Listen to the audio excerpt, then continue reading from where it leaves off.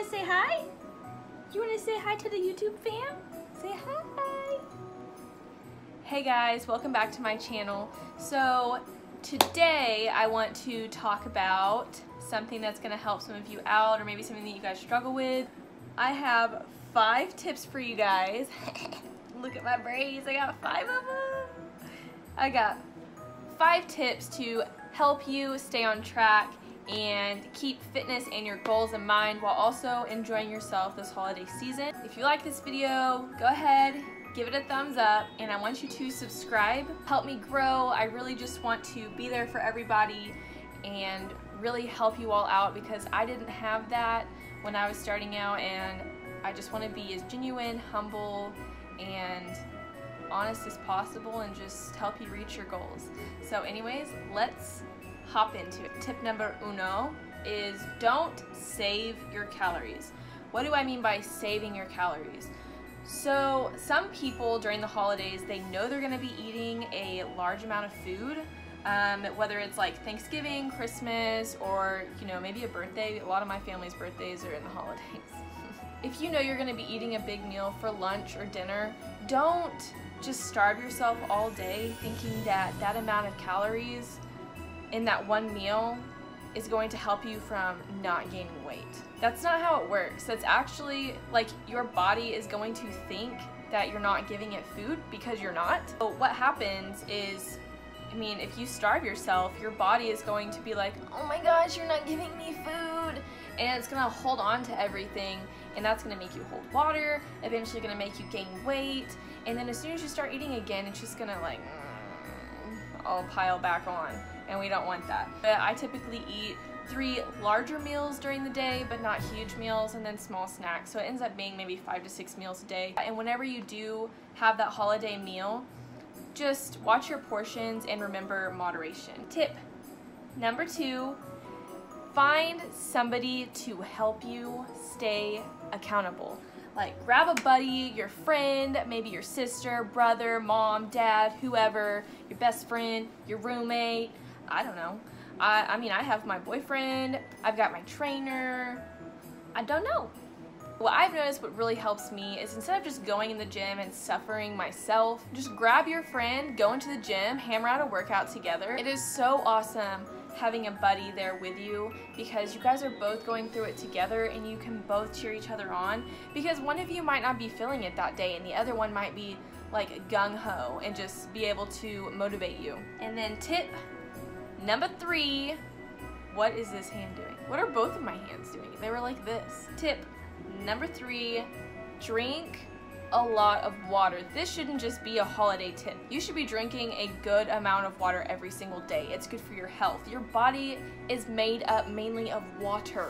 You need it to stay hydrated. It helps transport things through your body. It helps maintain your body temperature. It helps lubricate everything in there. You need water.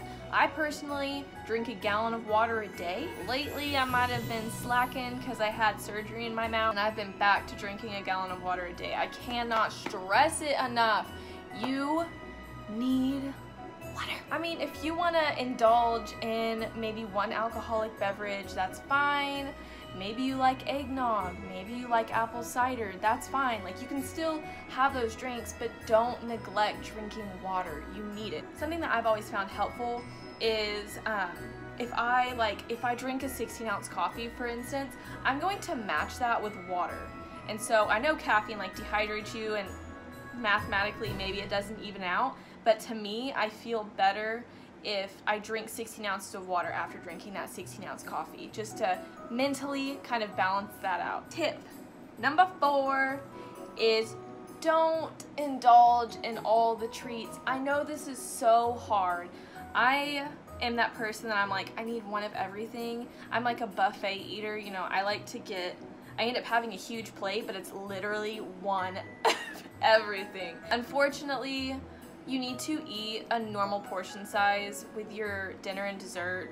I know this is hard. There's like five pies, 10 different types of cookies. Just pick your favorite, you know? You don't want to eat all of that. One, you're gonna feel sick. One time I ate like a whole sheet of brownies. I'm not kidding. So my aunt makes these delicious brownies She put candy bars in them. It was seriously heaven. And I think I had half the sheet of brownies. Don't eat like me, please. And finally, look at them go. Tip number five, enjoy yourself. Seriously, it's the holidays. You're gonna be with your family and your friends, all of your loved ones. Have fun, keep healthy goals in mind, but enjoy yourself. This is a lifestyle. It's a lifestyle, not a diet. You have to make it maintainable. Just make healthy decisions, keep moderation. Don't forget to go to the gym and do what you love. Don't like, don't starve yourself. Don't overindulge. Just find that happy medium. Come here. Come here.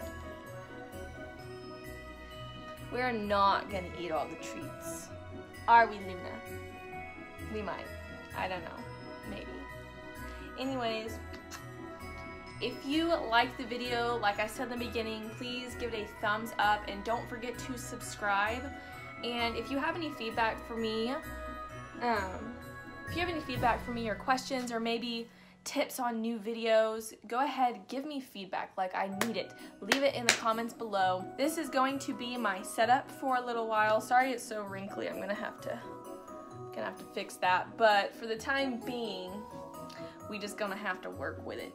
I hope these five tips are going to help you get through the holiday season. Go follow me on Hope Falen Fit on Instagram. That is where I am most active.